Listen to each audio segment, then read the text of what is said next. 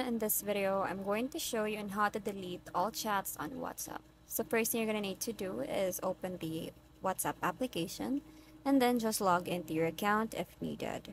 Once you're here, just tap on this gear icon at the bottom right. Now once you do that, just tap on this chats. And in here at the very bottom, you can see that delete all chats. You can tap on that to finally delete all the chats on WhatsApp. And that's it. It's very quick and easy. I hope you find this video helpful. Thank you for watching and I'll see you in the next one. Bye!